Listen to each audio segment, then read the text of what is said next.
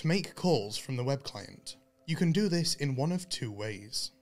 First, in the top bar of the web client, you'll notice a phone icon. By clicking on this, it will launch the dialer. By using either the on-screen dialer or your computer's numeric keys, you can enter the desired long format number for an external physical or cellular line. By using this dialer, you can also enter a short form direct dial ID for inside the business. The direct dial for this test extension, for example, is 2000. You will see that as you are entering a number, it will suggest contacts and previously used numbers based on the number you are entering. Once you have entered the number, you can click on the green dial icon at the bottom of the dialer.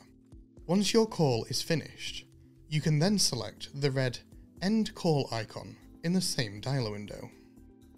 If you already have a contact saved, in your People tab, you can simply select the dial icon on the contact listing to launch a call.